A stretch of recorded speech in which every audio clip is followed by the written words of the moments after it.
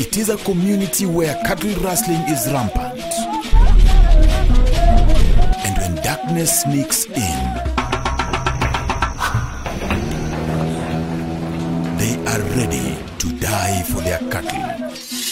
zitaenda na utalilia nani It is time to protect their prized animals. Time invite the cow to the bedroom. People here tell me there is no two way about this. Sasa utafanyaje? My cow, my roommate. This Thursday on Citizen TV.